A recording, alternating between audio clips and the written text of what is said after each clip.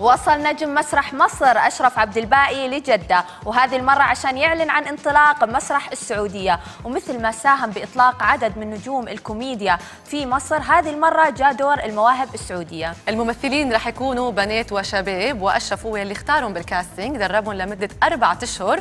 وبهالوقت كان المسرح عم يتحضر بجدة وصار جاهز لبدء العروض. وقد ما الجمهور السعودي متحمس جدا للعروض وللفكرة. ال tickets لأول تسع عروض كانت sold out وقبل انطلاق العروض رسميا عمل الفريق soft launching لل media.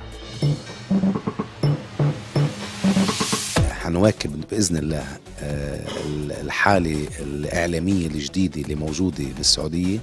ونحط كل خبراتنا آه، لأجل نعمل حالة آه، مسرحية بإذن الله تكون ناجحة. والمفاجأة كانت الإقبال الكبير من المواهب خلال مرحلة الكاستنج وكان مفروض يختاروا بس 20 ممثل ليكونوا نجوم هالعمل. لا ما شاء الله بجد كانوا كلهم مفاجأة بالنسبة لي. ليه؟ أما تقدم فوق الألف مثلا إحنا ما اخترناش 20 اخترنا 50 مش قادر أختار أقل من كده.